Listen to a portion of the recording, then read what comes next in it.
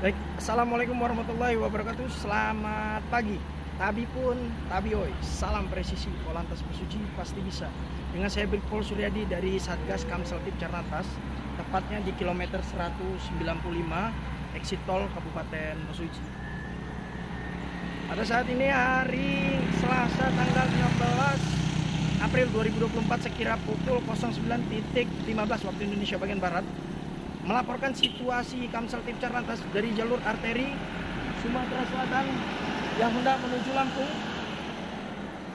Dan begitupun sebaliknya dari arah jalur arteri Lampung yang hendak menuju masuk pintu exit tol Sumbang Memata dapat terpantau saat ini arus lalu lintas kondusif sepi lancar. Negatif kejadian 33L maupun C3 dan sampai saat ini tidak ada penumpukan kendaraan dan tetap kami imbau pada masyarakat dan pemudi untuk tertib berlalu lintas, jadikan selamatan sebagai kebutuhan.